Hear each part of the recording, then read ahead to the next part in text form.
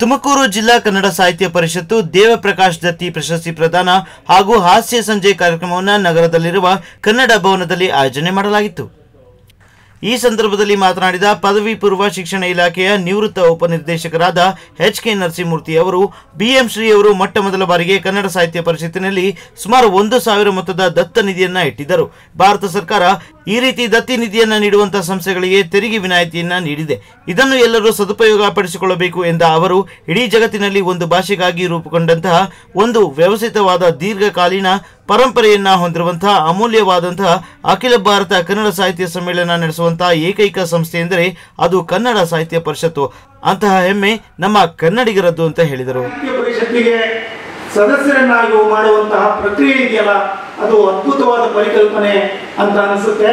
ಮತ್ತೆ ಇನ್ನೊಂದು, ಪ್ರತಿ ಸುಧಾರಣೆ ಮಾಡಕ್ಕೆ ಹೊರಟಾಗ ಬುದ್ಧ, ಬಸವ, ಗಾಂಧಿಯವರಿಗೆ ಕೂಡ ವಿರೋಧ ವ್ಯಕ್ತ ಆಗ್ತಲೇ ಇತ್ತು.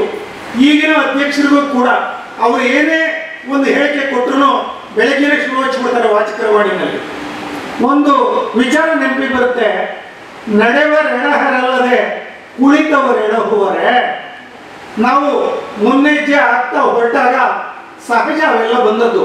ಯಾವುದಕ್ಕೂ ಹಿಂಜಕ್ಕಬಾರದು ಎಲ್ಲ ಕನ್ನಡಿಗರನ್ನ ಸಾಹಿತ್ಯ ಪರಿಷತ್ತಿಗೆ ಸದಸ್ಯರನ್ನಾಗಿ ಮಾಡುವಂತಹ ಪರಿಕಲ್ಪನೆ, ಅದ್ಭುತವಾದ ಪರಿಕಲ್ಪನೆ. ಬದಲಾವಣೆ ಮಾಡಲು ಹೊರಟಾಗ ಬುದ್ಧ, ಬಸವ, ಗಾಂಧಿಗೆ ಕೂಡ ಸಮಸ್ಯೆ ಎದುರಾಗಿತ್ತು. ಹೀಗಿರುವಂತಹ ಅಧ್ಯಕ್ಷರಿಗೆ ಕೂಡ ಯಾವುದೇ ಒಂದು ಹೇಳಿಕೆ ನೀಡಿದರೂ ಒಂದಲ್ಲ ಒಂದು ವಿವಾದವನ್ನ ಎಳೆದು ತರುತ್ತಾರೆ. ಇದರ ಬಗ್ಗೆ ಹೆಚ್ಚು ಯೋಚನೆ ಮಾಡುವುದಕ್ಕೆ ಹೋಗಬಾರದು ಎಂದರು.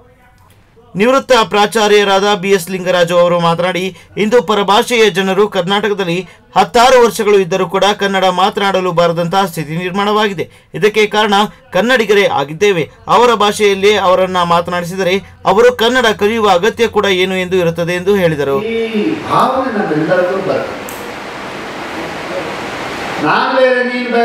ಭಾವನೆಯನ್ನು ನಾವು ಮೊದಲಿಂದ ಮಕ್ಕಳಿಗೆ ಹೇಳ್ತಾ ಹೋಗ್ತೇವೆ. ಏ, ಅವನೊಬ್ಬ ಸಾಕಿಯನ್ನು ಮಾತಾಡಿಸ್ಬೇಡ. ಅವನ ಹರಿಜನ ಅವನ ಮಾತಾಡಿಸ್ಬೇಡ.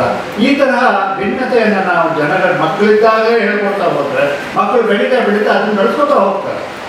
ಅದ್ರ ಬದಲು ನಾವು ಎಲ್ಲ ಸರ್ವ ಜನಾಂಗದ ಶಾಂತಿಯ ತೋಟ ಅನ್ನುವ ಭಾವನೆಯನ್ನು ನಾವು ಎಲ್ಲರಲ್ಲೂ ಹೇಳ್ತಾ ಹೋಗ್ತೀವಿ.